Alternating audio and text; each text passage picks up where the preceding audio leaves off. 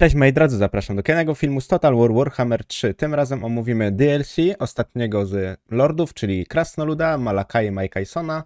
Jeśli chodzi o to, e, ogólnie o te DLC tych Krasnali, to powiem szczerze, bardzo mnie to zaskoczyło, powiem nawet pozytywnie, ale z drugiej troszkę mnie przeraziło, że te jednostki, ogólnie ta jego mechanika jest dosyć taka potężna, bo jeśli sobie zobaczycie na właśnie obrazek, który wam tutaj prezentuję, ma on coś takiego, że ma wielką księgę uraz, e, czy tam żalów, no nie wiem jak tam tłumaczy tak. No wydaje mi się, że to raczej uraz, jak standardowe jak u krasnoludów.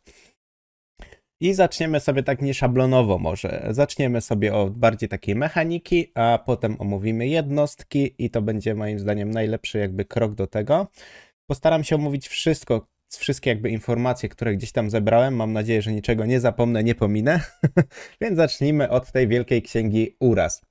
Mamy tak naprawdę trzy jakby tabelki w tej urazie, znaczy trzy zakładki. Na pierwszej mamy tak naprawdę zadania, dzięki którym otrzymujemy właśnie te księgi. Za te księgi będziemy mogli jakby levelować e, główną jakby kampanię i dodatkowo będziemy mogli rekrutować później jednostki. E, jak odblokujemy oczywiście jakiś dany procent e, naszej jakby kampanii, też później Wam pokażę, o co mi dokładnie chodziło, żeby tak bardziej to wytłumaczyć. Kolejną zakładką mamy tak naprawdę konfederację, czyli mamy jakby głównych tych lordów e, i jeśli oni oczywiście żyją, to możemy ich skonfederować za konkretną ilość tych punktów, tych książeczek.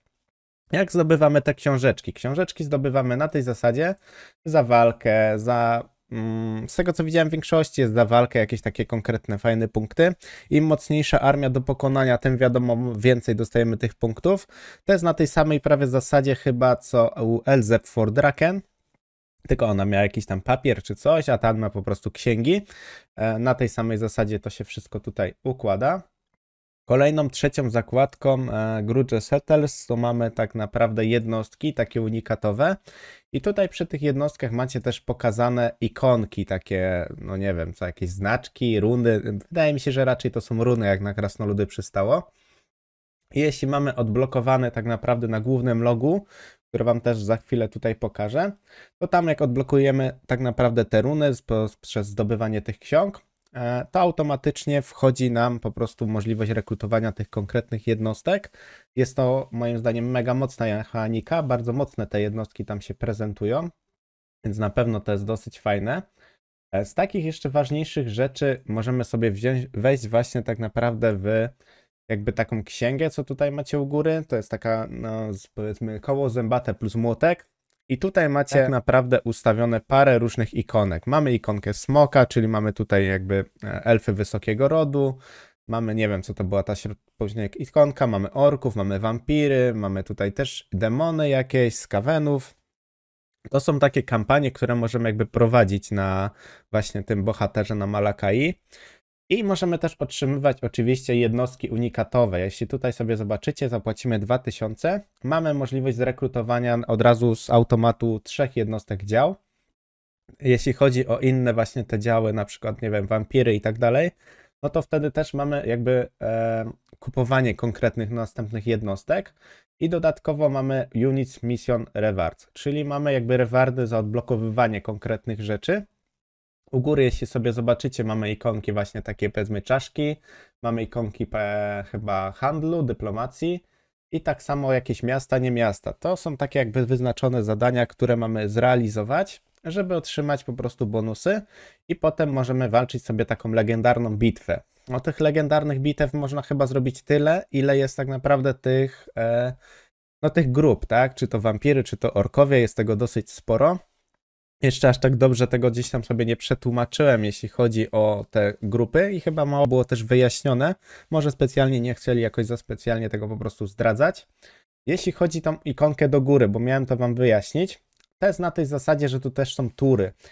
Nie wiem, czy te tury czasem nie ładują też tego paska i mogłem tutaj pomylić, że ile tur minie, tym wtedy możemy jakby dostawać te konkretne runy i rekrutować te konkretne też jednostki.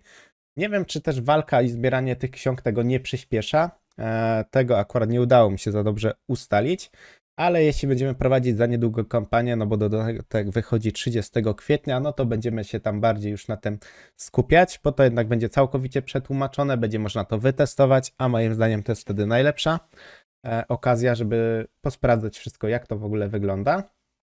E, co z takich jeszcze ważniejszych rzeczy? E, możecie sobie tutaj zobaczyć na przykład e, drzewko technologiczne Malakai. Jeśli chodzi o drzewko technologiczne, on jest oczywiście takim strzelcem, oczywiście dyscypliny 100, no bo to jest taki moim zdaniem berserk, jeśli mamy tych zabójców chyba gigantów, nie wiem jak oni tam dokładnie ta jednostka się nazywała. Jeśli chodzi o jego drzewko technologiczne, no wszystko tak naprawdę względem strzelania, do przetrwania, do inwentora, bo jeśli chodzi o inwentora, on jest takim powiedzmy mechanikiem, takim, no nie wiem, inżynierem, E, wymyślał po prostu różne te, te jakby mechaniki, technologie. Mamy bardzo dużo rzeczy do regeneracji na pewno. Bardzo dużo rzeczy właśnie do architekta, czyli będziemy mieć pewnie skracany czas budowy budynków, ewentualnie też kwoty. No jeśli chodzi o strzelanie, moim zdaniem będzie mega potężny. E, już jego statystyki na starcie są mega mocne, jak dla mnie.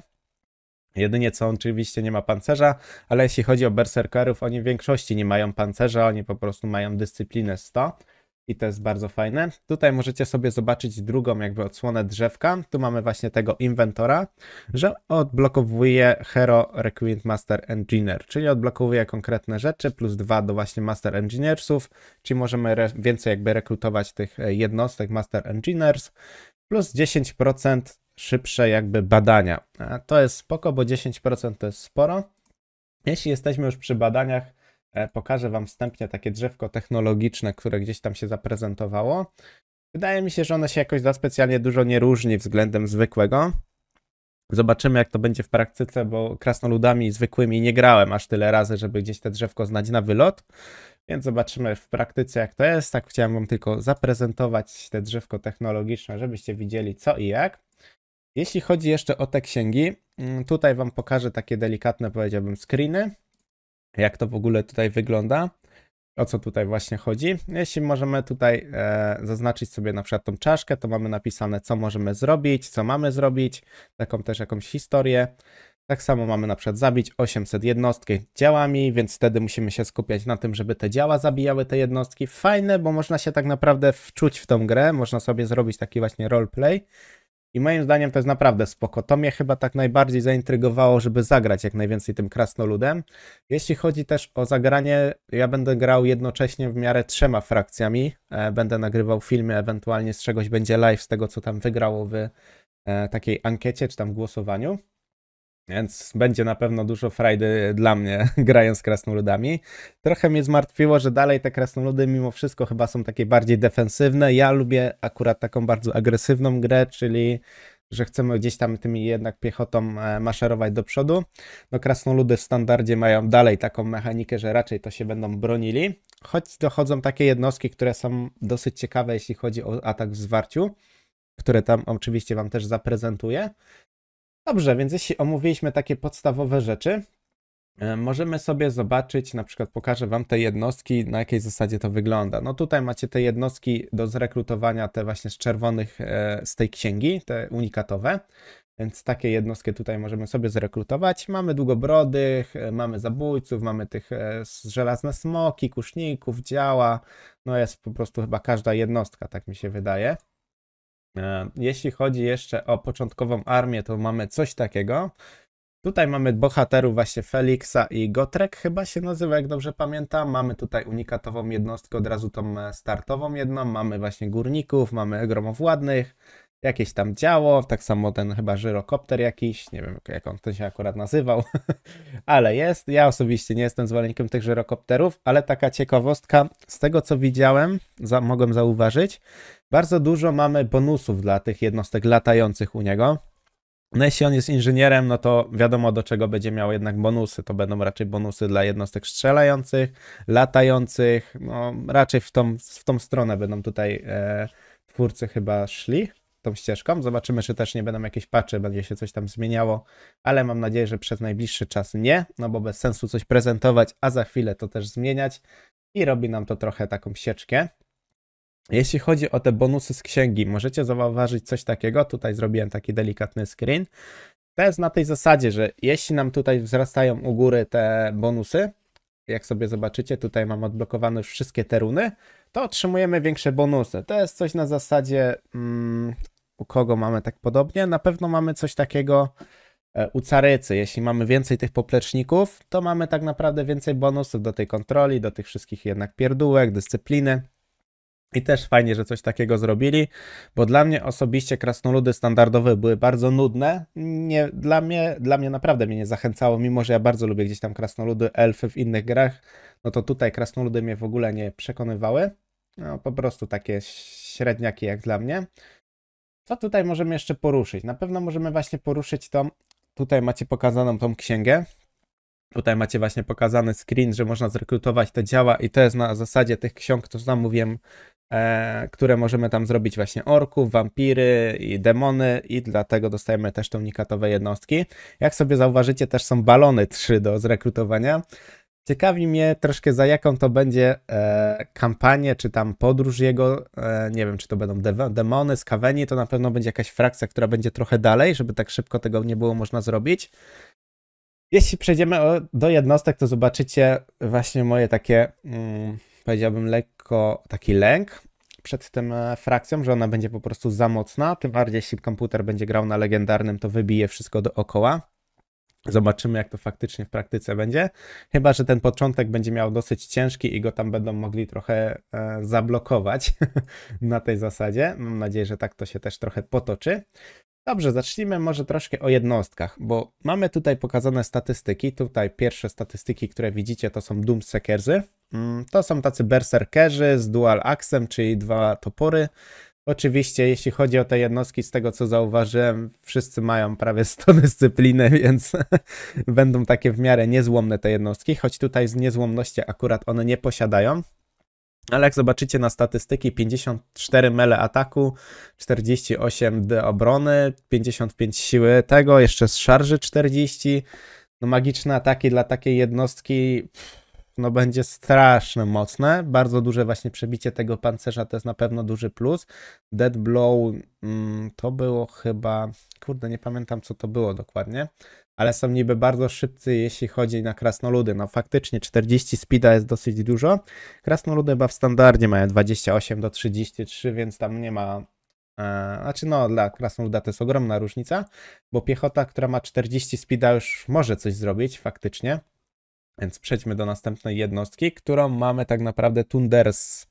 To są jakieś jednostki strzelające, one mają mały zasięg, ale bardzo duża siła rażenia tego co widzę, przebicie pancerza, dodatkowo właśnie jeśli strzelają, dodatkowo armored shield, czyli mogą się też zasłaniać, jeśli chodzi o walkę z przodu. Jeśli chodzi o tarczę, to przeważnie mamy 35 do 75 obrony. Chyba bohaterowie mają w większości 75, a jednostki 35, jeśli chodzi o taki frontalny atak więc też bardzo fajnie. E, amunicji 22 też nie jest źle, pancerza sporo, na krasnoludy zawsze mają pancerza chyba 80, nie, nie wiem czy jest jednostka, która ma mniej, nie licząc tych wiecie e, zabójców czy tego typu. No speeda widzicie, już mają 28, czyli faktycznie dobrze gdzieś tam pamiętałem, jeśli chodzi o ten speed. No statystyki takie średnie, no na pewno ta siła strzelania bardzo fajnie będzie się sprawdzała na potwory, będzie bardzo dobrze się sprawdzała na bohaterów. A krasnoludom, czy tego brakowało? Mm, wydaje mi się, że chyba nie. Krasnoludy zawsze miały bardzo dobre jednostki strzelające, które zmiatały większość jednostek. Czy to były potwory, czy to był bohater. No nie, nie mieli, wydaje mi się, z tym problemu. Jeśli chodzi o tą jednostkę, tutaj czuję taki dobry dosyć balans, bo faktycznie ten zasięg e, będzie ich trochę ograniczać. Zależy jak to będzie jeszcze w kampanii, czy będzie mieć dużo bonusów do zasięgu tej jednostki i oczywiście jak będzie na przykład na srebrze, złocie, e, jakie będą te statystyki się zmieniały. Więc jednostka taka powiedziałbym zbalansowana.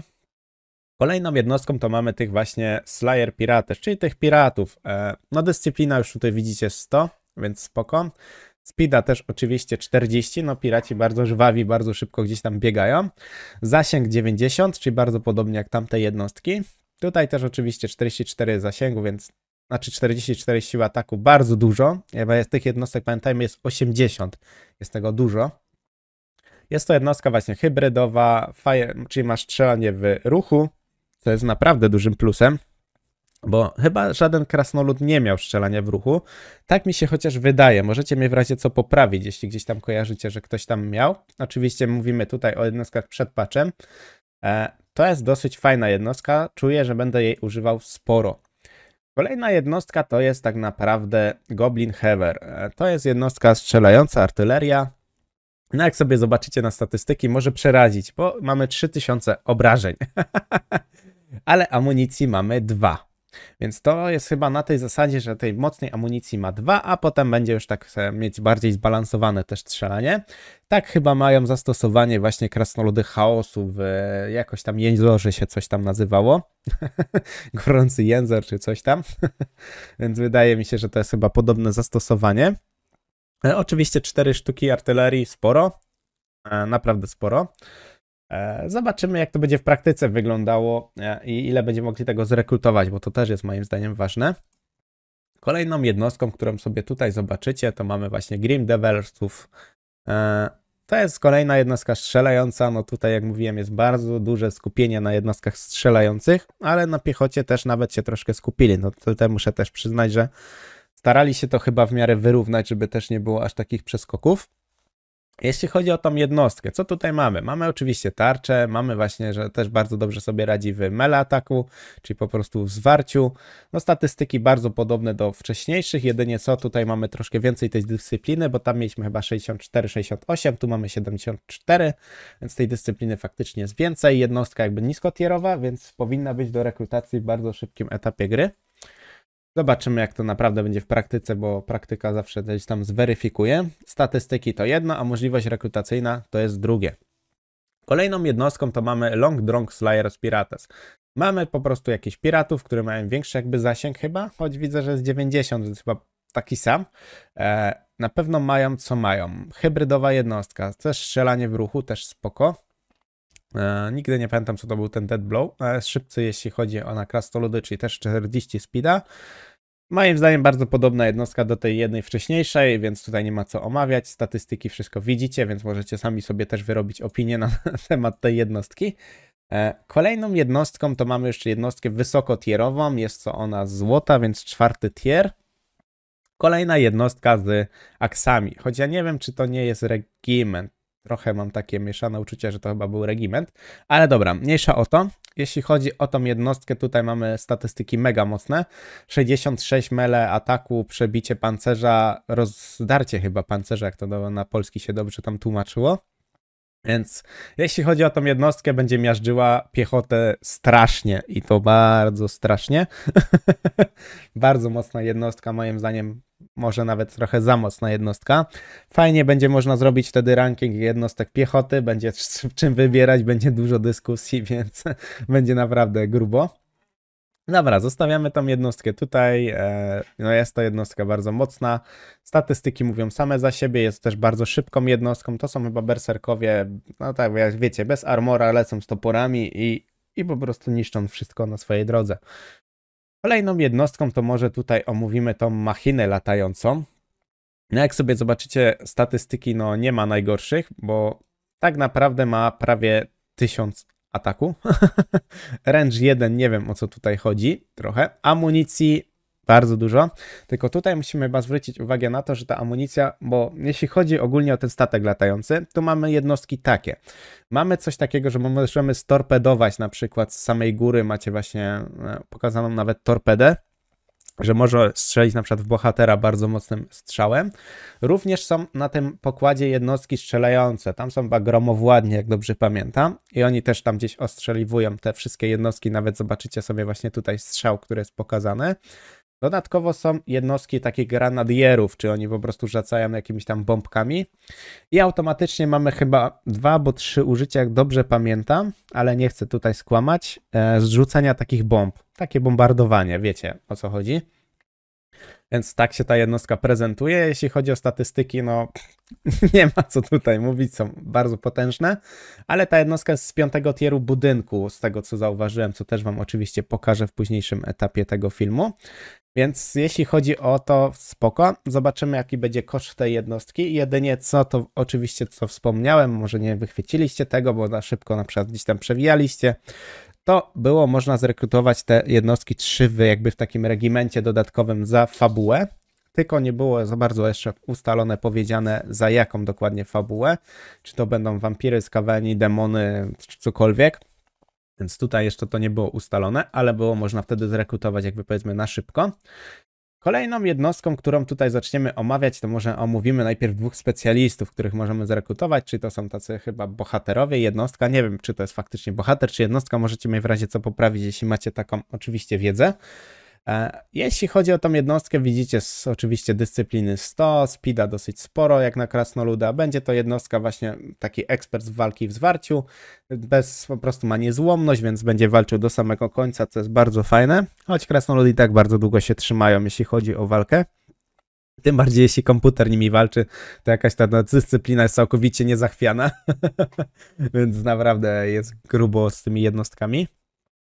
Bardzo fajna jednostka, będzie na pewno się fajnie sprawdzała.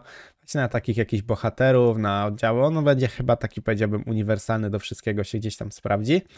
E, druga jednostka to jest Demon Slayer.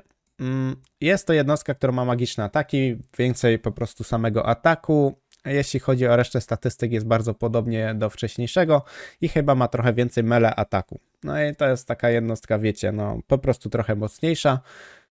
I to już z tego, co widzę, to jest chyba już jako taki bohater. Tak, no, bohater czy tam jednostka. No nie wiem, jak to faktycznie gdzieś tam będzie wyglądało, bo gdzieś tam nie skupiłem się dokładnie na tym. Starałem się skupić na troszkę ważniejszych rzeczach. To jest trochę moim zdaniem mniejsza, mniej ważna rzecz. Więc kolejnym to mamy właśnie tego bohatera legendarnego, którego możemy gdzieś tam dostać. To jest właśnie Garagrim, Iron Fist, więc taka żelazna pięść, dłoń, Chyba pięść. E, o co tutaj w nim chodzi? Jest bardzo podobny do wcześniejszego, jak sobie zauważycie, tylko tutaj mamy e, mniej na przykład weapon strength, czyli siły broni, ale statystyki są bardzo podobne. No jedynie czym się pewnie będzie różnić, to będzie miało swoje takie drzewko technologiczne, znaczy drzewko umiejętności inne niż te standardowe, a tamte jednostki chyba nie będą tego miały, co też jest ważne. E, co jeszcze możemy tutaj poruszyć? Na pewno możemy poruszyć ulepszenie statku. O co w ogóle chodzi z tym statkiem? Malakai będzie miał Malakai, jeśli chodzi tak naprawdę o tego bohatera. E, co możemy tutaj powiedzieć e, ogólnie o tej budowie? Mamy podzielone to tak naprawdę na dwa etapy. Pierwszy etap to jest tak naprawdę wojsko, czyli możemy budować budynki do wojska. Jest to po prostu tak, jak macie w hordzie grając wampirami, że możecie ten statek tam rozbudowywać, nie? Tutaj możecie właśnie sobie zobaczyć, co można rozbudować, jakie mamy budynki. No mamy budynki takie standardowe, jak w zwykłym po prostu mieście krasnoludów, czyli po prostu pod łuczników, długobrodych, potem mamy pod właśnie torpedowych, e, pod gromowładnych, potem mamy machiny latające, no i oczywiście mamy machiny takie no, naziemne, czyli po prostu działo ogniowe i tym podobne, wielkie działa. Nie ma tam jakichś, wiecie, cudów na kiju. I oczywiście chyba te niektóre nowe jednostki też będzie można tam rekrutować. I mamy tak jakby ścieżkę taką ekonomiczną w tym statku. Jak z tego co widzicie, tutaj bardzo podobny jakiś browar z tego co widzę, jakieś właśnie umiejętności czy coś do jednostek strzelających, bo mamy dwa jakby takie strzelby, pistolety, karabiny, nie wiem. E, mamy jakieś śmigło, jest jakaś alchemia, bym powiedział, beczka, znaczy uzbrojenie chyba bardziej. E, inżynieria jakaś jest. Jest tego dosyć sporo, tych bonusów będzie, wydaje mi się, dużo. Jeśli chodzi ogólnie o, o to, gdzie zaczyna bohater, no to tutaj możecie zauważyć na tym screenie, że zaczyna on bardzo blisko Moldera, po prostu za ścianą Moldera. Tam były te zwykłe krasnoludy, one chyba miały kolor niebieski, taki jasno niebieski. Nimi nie było można grać e, i oni po prostu zastąpili e, tą tą frakcję taką, wiecie, którą nie było można grać, e, Malakai. E, I spoko moim zdaniem. Jeśli chodzi ogólnie o statystyki Malakai, bo nie wiem, czy akurat je zdążyłem wam pokazać, to jeszcze powtórzymy. No jest to strzelec, bardzo duże e, statystyki, jeśli chodzi strzeleckie, bardzo fajne drzewko technologiczne, które wam pokazywałem na samym początku. I co? No wydaje mi się, że to tyle. Jest bardzo dużo rzeczy. Z takich najważniejszych rzeczy, że ma oczywiście możliwość konfederacji za księgi. Dodatkowo ma unikatowe jednostki. Ma wiele wariantów swojej podróży, które możemy sobie wykonywać i dostawać za to dużo bonusów dla jednostek, jednostki. No i jest tego naprawdę dosyć sporo. Za jakby e, granie kampanii dostajemy oczywiście możliwość zrekrutowania tych czerwonych regimentów, tych bardzo mocnych Eee, co? Chyba tyle z takich podsumowań. No, jednostki, które zostaną mu dodane, są bardzo mocne. Sam bohater wydaje się mocny. Jego ścieżka e, technologiczna jest bardzo podobna chyba do standardowej, ale jego drzewko umiejętności jest bardzo nastawione na regenerację, bardzo ustawione właśnie na strzelectwo. No, przez to, że to jednak strzelec, no to to po to gdzieś tam raczej realizowali. Więc moim zdaniem mega mnie to zaciekawiło. Bardzo mam ochotę zagrać tym bohaterem. Jak na początku byłem sceptycznie nastawiony do krasnoludów, bo oczywiście zwykłe krasnoludy nie są moim takim topowym, topową frakcją, którą bym mega zagrał. No to teraz po zobaczeniu tego wszystkiego, po analizie, a na takiej większej, głębszej analizie, wygląda to naprawdę bardzo fajnie i mi się to po prostu podoba i zachęciło mnie do zagrania. Tym na pewno będzie się pojawiać sporo odcinków z każdego bohatera, który się oczywiście tutaj ujawnił, ukazał. Więc dzięki za oglądanie. Jeśli Ci się podobało, zasubskrybuj mój kanał, będziesz na bieżąco z wieloma rzeczami. Mam bardzo dużo serii odnośnie Total War'a, więc jeśli Ci się Total War podoba, no to musisz zasubskrybować i ewentualnie zostaw lajka pod filmem, jeśli Ci się oczywiście podobał. I zapraszam też do komentowania. Ja lubię oczywiście dyskutować z wszystkimi moimi widzami, więc dziękuję bardzo i do następnego. Cześć!